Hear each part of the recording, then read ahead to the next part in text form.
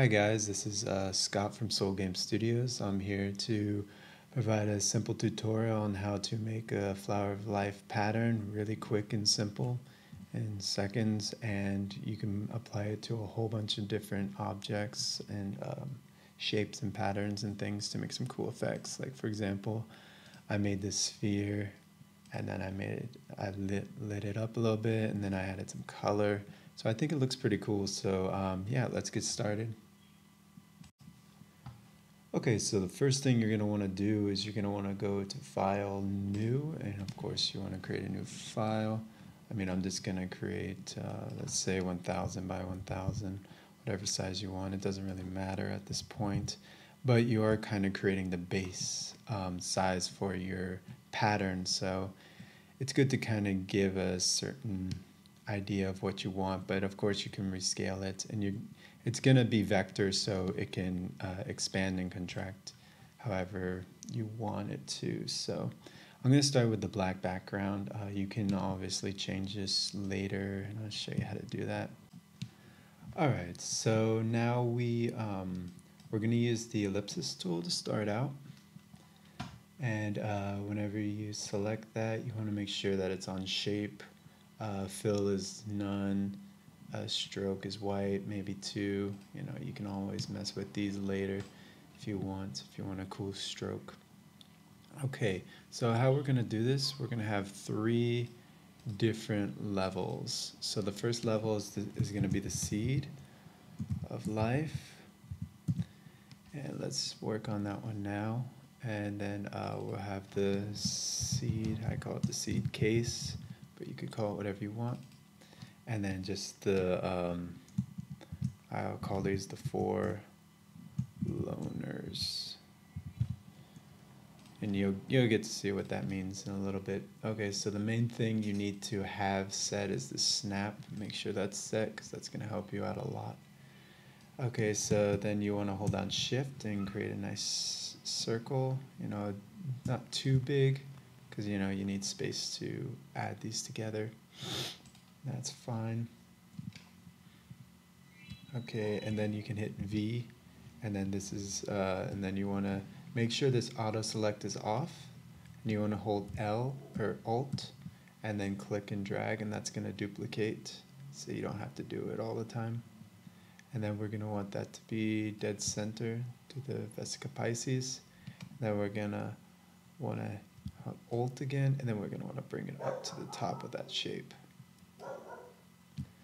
All right, now that we have that, you're going to want to uh, come over here and grab two of these, duplicate them, hit Control T, hold down Shift, and just drag until you see it lock into place. You see these lock into place? It goes to a 45 degree angle. Okay, and then we're going to do that again. T, And then we're going to hold down shift if it's to work. Yeah, there it goes.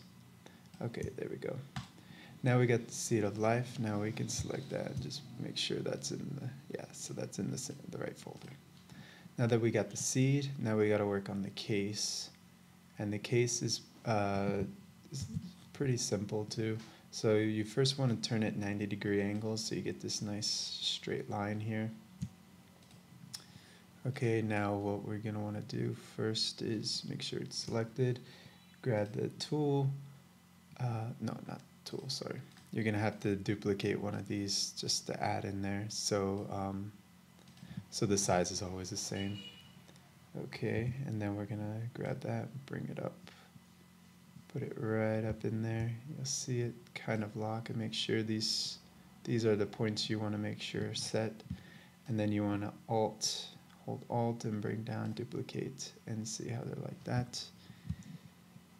Nice parallel you want to grab those and we're gonna um, just make sure they're perfectly aligned so you hit this little button and it makes sure they're they look pretty good. So now we want to duplicate so I'm gonna grab these drop these down to here to duplicate. I'm sure there's plenty of different ways you could do that but that's how I prefer. Hold shift and then it's gonna lock those right into there and then we're going to do it one more time. Control T, and then shift, pops it right into the line. Okay, now that we got those two, we're gonna bring those back to uh, back to 90 degrees.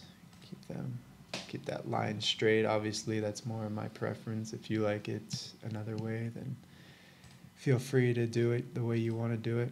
And then we're gonna grab another one of these, duplicate, bring it up in there. Just so we have the same, you know, size, shape, and stuff, so we don't have to rebuild. Okay, now this one, this is sort of tricky part. These four loners are kind of weird, but they should snap in there right. See how it snaps into this? And then of course you want to hold Alt, bring it down to the other side, snap it in there. And then you're going to do the same thing, you know, copy, then Control T, Shift, and then they're going to snap in right there. And that's all you need to do for building the flower of life to make the, the pattern. So now we got, yeah, we got the seed of life, the case, and the four loners. And now we're going to save this. I'm going to save this as, um, let's just save it on my desktop as, um, yeah, um, flower of life. Okay, so now we got that saved, just, you know, saving is always good to do.